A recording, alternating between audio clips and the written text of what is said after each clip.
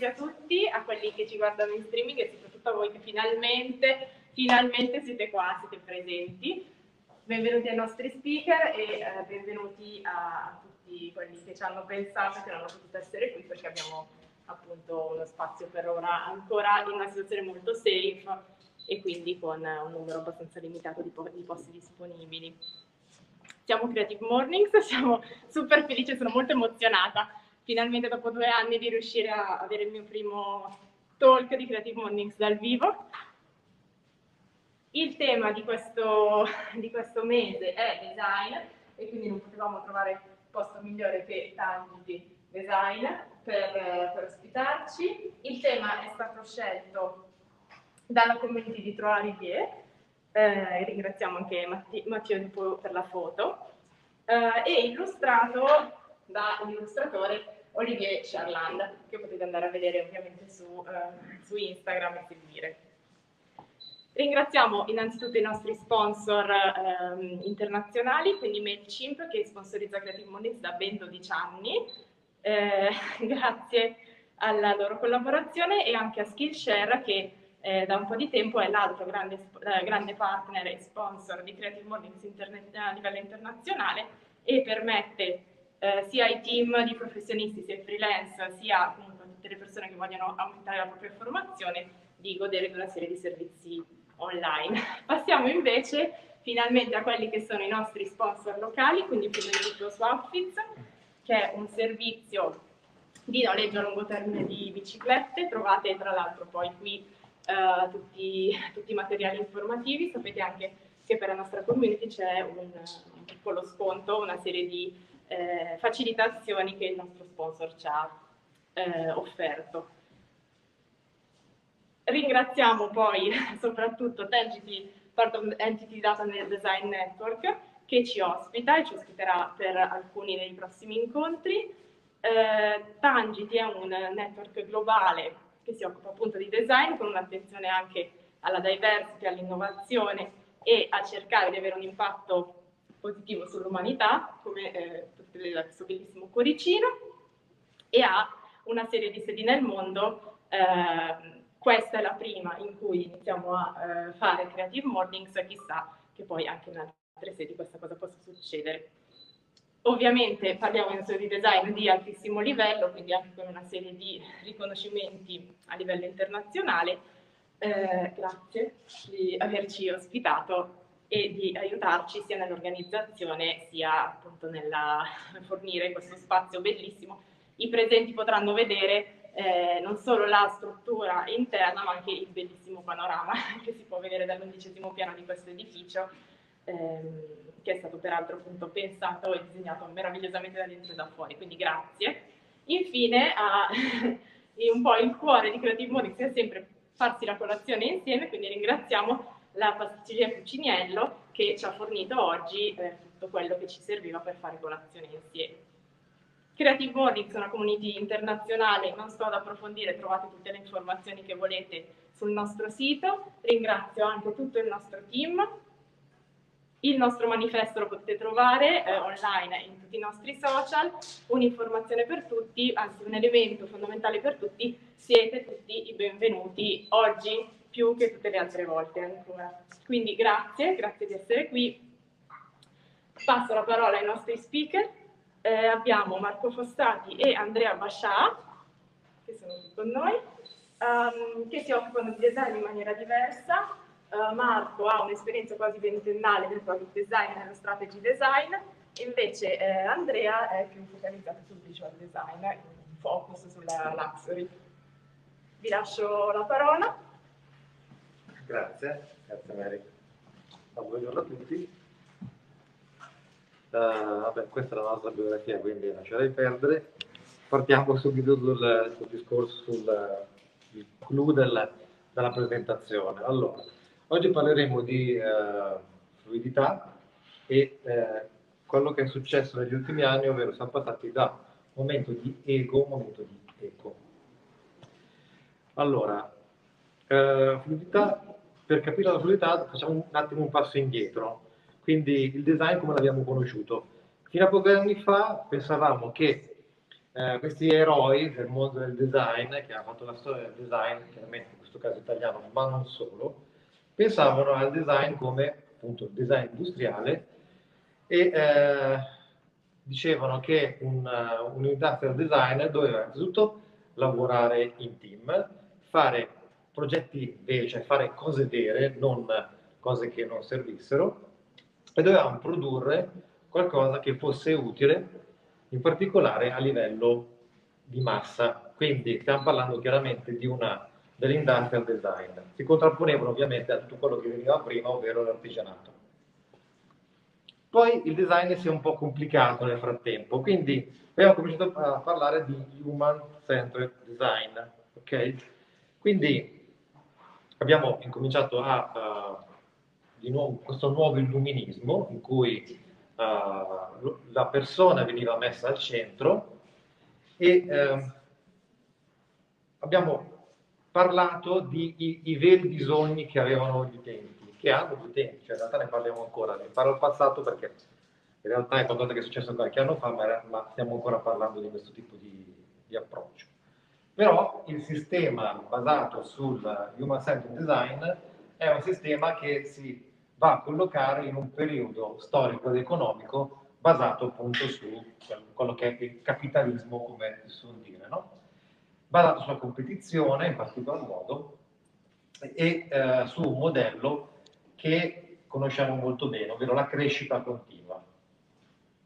Questo modello basato sulla crescita continua in realtà si sta trasformando negli alcuni anni. Abbiamo capito che il Human Centered Design non è più sufficiente per definire quello che è il design così come dobbiamo pensarlo.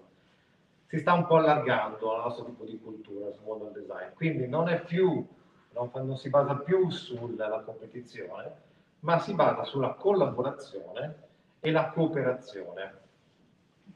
Quindi abbiamo incominciato a parlare di design come life-centered design. Ma che cos'è questo tipo di, di, di nuova cultura? In sostanza ehm, si basa sempre sui bisogni del, del, nostro utente finale, del consumatore.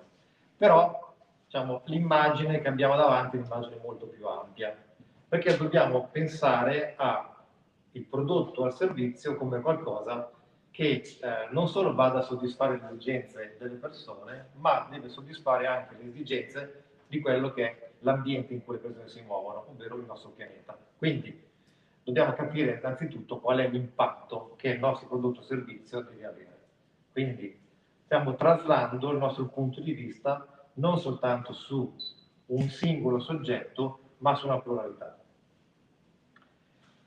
Chiaramente pluralità vuol dire fare design per tutti, ma vuol dire anche capire se possiamo permetterci questo design i nostri eroi del passato dicevano dobbiamo produrre progetti di massa per tutti, quindi una democrazia della, della produzione. Oggi questa democrazia in parte è stata conquistata, magari soltanto in alcune parti del mondo, ma dobbiamo pensare anche che cosa vuol dire, qual è l'impatto che, che, che determina questa democrazia. Quindi abbiamo introdotto un nuovo concetto, che è il concetto di inclusività, non semplicemente che tutte le persone devono essere messe diciamo, in, a, in, in, la possibilità di poter uh, fare, acquistare o usufruire di servizi, ma anche l'inclusività in senso di sostenibilità. Uh, molto spesso um, abbiamo definito i prodotti, i servizi, il design basato semplicemente sulla necessità. Ok, questo non è, non è più valido, cioè non è più sufficiente par parlare di necessità. Dobbiamo uh, incominciare a parlare di qualcosa che è necessariamente sostenibile. Fare prodotti uh, con cattivi materiali che hanno delle brutte finalità e semplicemente sono inutili se non per soddisfare un'esigenza, cioè se qualcuno li può comprare allora li devo produrre. Ok, questa cosa non deve più esistere, perché se qualcuno li può comprare e poi li devo produrre, cosa vuol dire la morte di questo, di questo prodotto? cosa succede? Quindi dobbiamo pensare in maniera un po' più a 360 e soprattutto nel tempo. Dobbiamo essere molto più simbiotici con quello che è la natura, con quello che è l'ambiente in cui viviamo. C'è questo bellissimo esempio che, uh, ci piace riportare, ovvero che In Giappone quando vai in una grocery, in supermercati che sono aperti più o meno 24 ore al giorno, trovi tutto impacchettato, cioè ogni singolo oggetto viene impacchettato in una busta di plastica, etichettato con un tag, che è molto bello da vedersi dal punto di vista estetico. Ci sono queste banane che sono impacchettate una per una, però ci siamo dimenticati che in realtà la natura ha già prodotto un packaging perfetto per la banana. E noi semplicemente la stiamo rimpacchettando l'altra volta. Questa cosa chiaramente non ha più alcun senso. Perché? Perché stiamo andando a fare una forzatura di design laddove design in realtà non serve. Ci sono tante soluzioni che possono essere prese eh, e riutilizzate. Per esempio, nella parte sotto vediamo la stessa cosa però con un packaging naturale. Che cosa vuol dire a questo punto? Abbiamo pensato a 360 e soprattutto abbiamo pensato con una mente che va verso il futuro, che non si ferma semplicemente a ho prodotto un oggetto e poi lo utilizzo, ma che cosa succede a questo oggetto? Qual è la sua vita? Quando muore questo oggetto, può rinascere in qualche modo oppure va a scomparire? Questa cosa in realtà la conosciamo già da parecchio tempo, perché un signore abbastanza famoso aveva detto che il buon design ah, è molto friendly con l'ambiente in cui viviamo. Quindi diciamo che non, non è proprio nata questo, questo life center design come un altro blu, qualcosa che non conoscevamo. Chiaramente noi non cambieremo il mondo, non lo salveremo, però cercheremo almeno di renderlo meno peggio di quello che è. Questa diciamo, è, potrebbe essere la nostra vocazione di tutti. E quindi parliamo di fluidità come sostenibilità. Grazie Andrea, buongiorno a tutti. Eh, diciamo, proseguendo il discorso che ha appena fatto Andrea, eh, la mia parte sarà eh, incentrata su un'esperienza mia personale. Io mi occupo di, di prodotto e ho cercato, eh, diciamo, sono entrato in un team di lavoro in cui eh, questi concetti di sostenibilità, di studio dei materiali, diciamo, ha raggiunto un livello estremamente interessante. E quello che mi interessava proporre è come può eh, cambiare il ruolo del designer oggi, non tanto spiegarvi come si fa un prodotto sostenibile. Eh, è una questione di responsabilità eh, nostra ed è un problema sociale ed economico. Allora, problema sociale, diciamo, l'ha spiegato molto bene Andrea, è un problema anche economico. Purtroppo oggi le aziende il discorso della sostenibilità la vedono sempre come un limite per, per i costi che ha, ma è un approccio che deve, comunque andrà a, a, finire a breve, nel senso che comunque siamo costretti a approcciare questo aspetto. Tanti prodotti esistono già materia di plastiche riciclate, plastiche bio, però è ancora una cosa eh, troppo ridotta dobbiamo parlare sempre di estetica, comunque siamo designer, siamo prodotti, dobbiamo fare dei bei prodotti funzionali, ergonomici e tutto il resto, però il concetto di eticità eh, deve comunque eh, pervadere ogni progetto che d'ora in poi. Già è una cosa che comunque si fa, però dovrà sempre essere più presente. E dobbiamo pensare alla sostenibilità come una risorsa, quindi eh, come un driver, non come un è sicuramente un costo, ma noi stiamo già pagando un prezzo molto alto di tutta la politica precedente di, di, di, di creazione di prodotti, di produzione in massa. Probabilmente adesso è arrivato il tempo di concepire la sostenibilità come un driver per, per il business.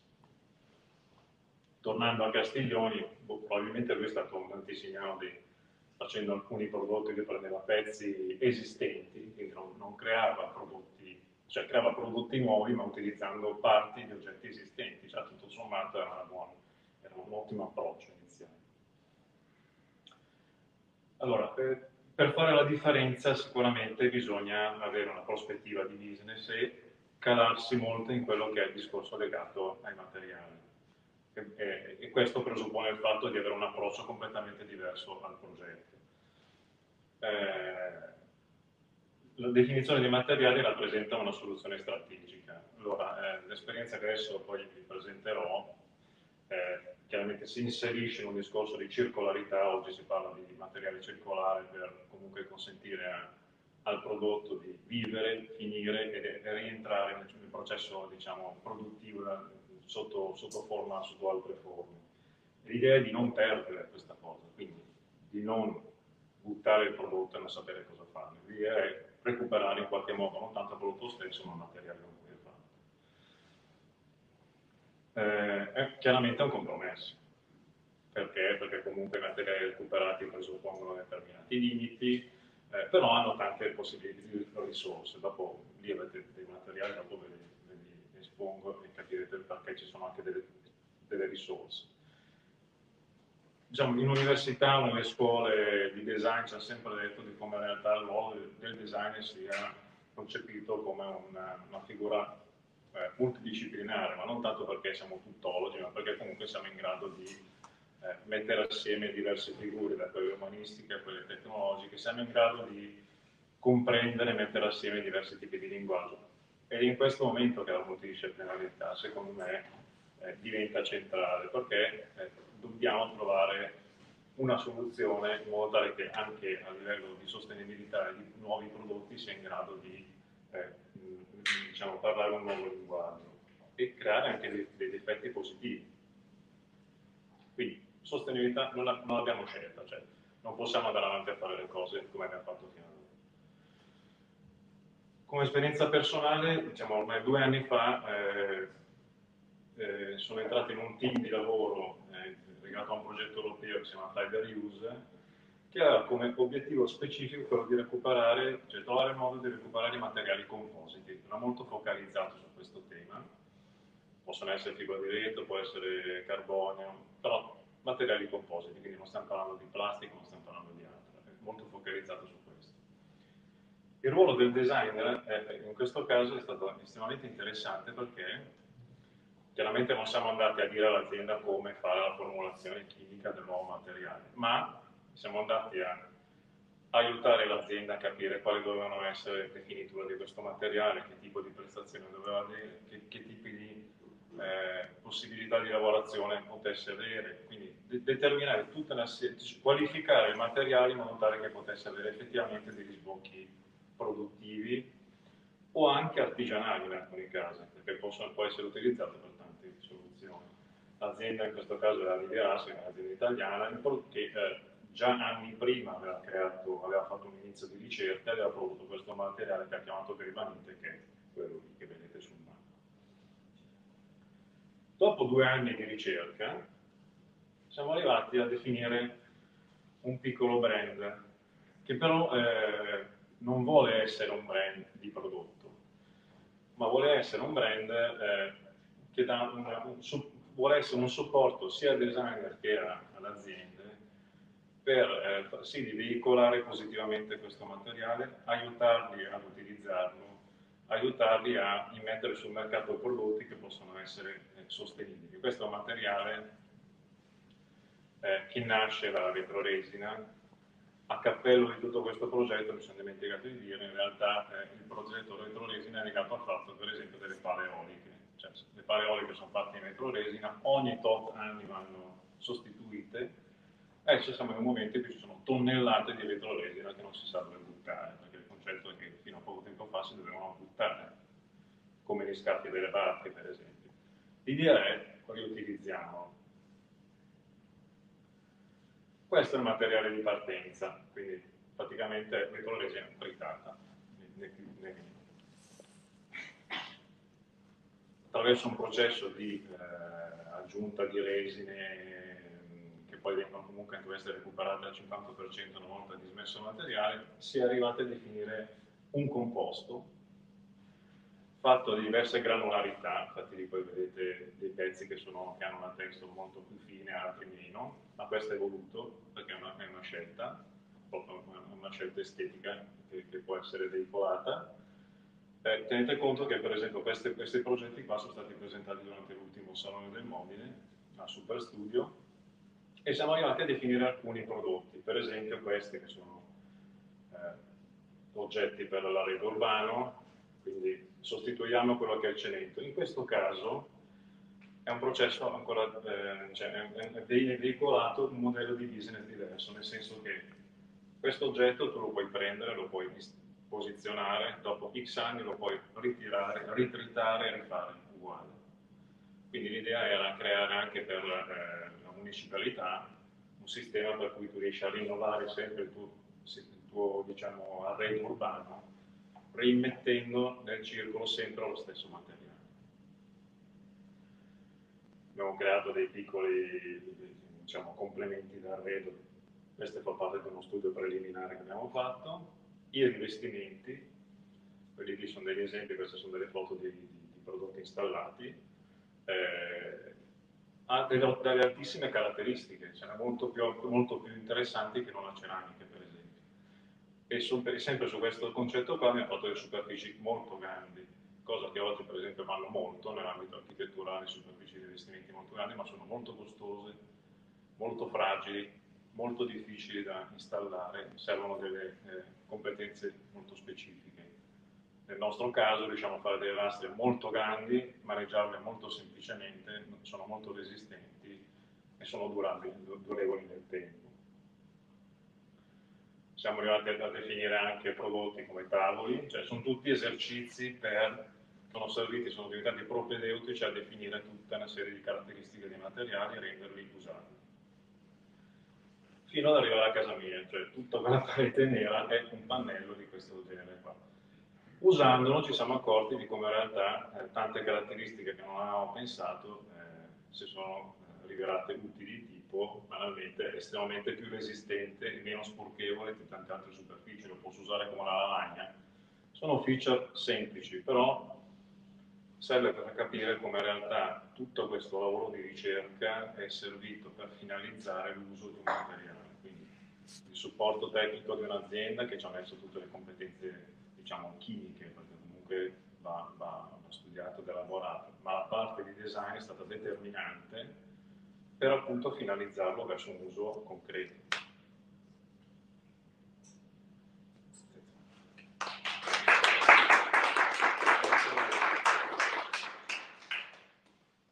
Grazie, grazie agli speaker, grazie a voi per essere rimasti qui. Uh, io ho una domanda in realtà per tutti e due. E, e, la domanda è questa, soprattutto qui alla fine è stato molto interessante vedere, come dicevi giustamente, c'è stata tutta una fase di progettazione, poi l'ho usato nella mia vita mm-hmm. e ho scoperto delle altre cose. Uh, nella riflessione che Creative Moments propone sul tema design, loro all'inizio parlano proprio del fatto che siamo in un mondo immerso nelle intenzioni. Quindi a me ha suonato molto immaginare che il design sia una eh, una sorta di incontro tra quelle che possono essere le intenzioni delle persone e quello che poi gli risponde il mondo. Per cui anche il vostro titolo, che era da ego a eco, in realtà questo, questo passaggio può anche non essere un passaggio di smettiamo l'ego nel senso dell'identità o dell'intenzione personale, ma anche eh, teniamo questo e facciamolo però incontrare in maniera produttiva con eco, quindi con quello che ci risponde intorno. Quindi la mia domanda è, quali sono le intenzioni dei designer secondo voi adesso? Quale sarà la domanda che i designer stanno facendo al mondo? Perché questa domanda è già stata fatta, quella che voi state giustamente a cui avete cercato di rispondere. Quale sarà la prossima domanda? Beh, ci sarà. Non so se il designer in questo caso debba fare per forza una domanda. Secondo me il designer adesso deve deve entrare in un'ottica completamente diversa. Cioè deve, negli ultimi anni abbiamo visto veramente tantissimi prodotti, eh, cioè devono avere un'ottica di business, soprattutto se parliamo di questi, di questi temi. Cioè, eh, non possiamo pensare di fare l'oggetto fino a se stesso. Cioè, è, è un argomento che ci sarà, funzionerà ancora, ma non possiamo fare solo così cioè, negli ultimi anni abbiamo visto miliardi di prodotti di tutti i tipi, eh, molto spesso non, non, focalizzati su delle reali esigenze o delle aree, ma, non solo esigenze personali, ma anche delle aziende. Cioè, comunque lavoriamo per delle aziende, ma creare un business per l'azienda. Cioè il design, il design deve dare un valore aggiunto. E anche in questo caso lo deve dare. Ed è un valore aggiunto imprescindibile, quindi non so se il designer avrà delle domande da fare, sicuramente dovrà farsi delle domande a se stesso e dovrà sicuramente mettersi in gioco. Nel nostro picco, perché comunque anche se è un progetto abbastanza grande, però l'attività è, è tutto sommato piccola rispetto all'ambiente che ci circonda. Però è estremamente interessante, cioè, si può fare un sacco di lavoro, si deve fare, e si trovano un sacco di, di, di soluzioni interessanti. Teniamo conto che questo materiale qua che vedete tutto sommato ha un aspetto anche abbastanza grezzo, ha avuto un'estremamente eh, alta richiesta anche da brand molto grandi che sono rimasti incuriositi da questo. Quindi secondo me è un processo irreversibile. Faccio un salto un po' indietro, per dare delle risposte assolutamente vado a cercare quali sono le cause. Um, secondo no, il mio amico mi ha sempre detto c'è troppo design in giro. Effettivamente è vero, c'è veramente troppo design. E lo vedi qualunque giorno, in qualunque momento. E poi soprattutto il design o i designer arrivano un po' tardi rispetto a quello che diciamo, altri hanno già detto prima. Le Corbusier quando ha disegnato il modular ha detto la, la persona, si diceva l'uomo, dice la persona, sta al centro. Ok, noi con il, user centered design ci siamo arrivati 50 anni dopo probabilmente, no? A parlare di questa cosa. Si parla di, di ecologia e di sostenibilità da 60 anni e soltanto oggi andiamo a teorizzare il life-centered design. Quindi cosa vuol dire? I designer in realtà non ascoltano e si credono sempre un po' più avanti degli altri, magari invece dovrebbero fare un passo indietro e capire come, come funzionano le cose, cosa gli sta dicendo la, già la società, l'economia, il mondo. Questo perché? Perché probabilmente abbiamo sempre assecondato quello che è il valore economico. Per fortuna questa cosa rimarrà sicuramente, ma si sta un po' evolvendo. Quindi eh, probabilmente il, ricominceremo ad ascoltare Vitruvio eh, e Corbusier che mettevano la, la, l'essere umano al centro e quindi cercheremo anche di contestualizzarlo nel suo ambiente. Ottimo. Bene, vi ringrazio di nuovo. Scusate, un attimo alla slide dopo. Qui ci sono, visto che alcuni, alcuni, chiedevano prima, qui ci sono tutti i nostri riferimenti, quindi i posti in cui potete trovare cosa sta succedendo in Creative Mornings Milano. Ringrazio chi ci sta vedendo in streaming, ringrazio anche tutti voi che siete riusciti a venire in persona, i nostri speaker, i nostri sponsor, i, le altre persone del team che sono qua dietro le quinte, che non voglio farti vedere. Salutate, ciao. ok. Eh, se volete ovviamente fermarvi per fare qualche domanda ai nostri speaker, per prendere un altro caffè con noi o una brioche o un pasticcino che mi dicono essere qualcosa veramente che vale la pena assaggiare, eh, rimaniamo qui ancora un pochino, altrimenti eh, naturalmente vi aspettiamo per l'evento di novembre, sempre qui, sempre a quest'ora, presumibilmente l'ultimo venerdì di novembre. Grazie a tutti.